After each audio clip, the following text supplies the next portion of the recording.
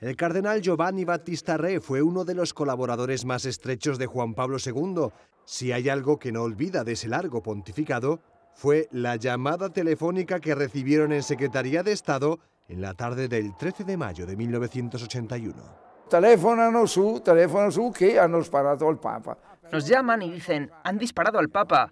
Para nosotros fue una profunda sacudida. Era impensable que alguien disparase al Papa. Giovanni Battista Re recuerda que Juan Pablo II siempre atribuyó su curación a la Virgen María. De hecho, en 1982 fue al santuario de Fátima para agradecerle su intervención.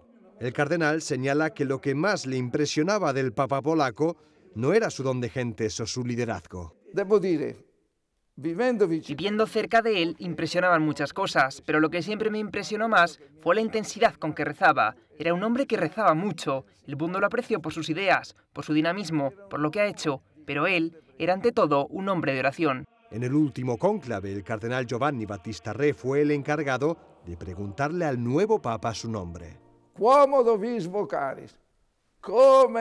¿Cómo quiere ser llamado? E inmediatamente respondió, Francisco. Pero no fue como dijeron los periodistas que se le preguntó, que Francisco. No, él lo especificó inmediatamente, Francisco, en memoria de San Francisco de Asís. El cardenal italiano trabajó en la curia desde tiempos de Pablo VI y fue creado cardenal en el mismo consistorio que el Papa Francisco.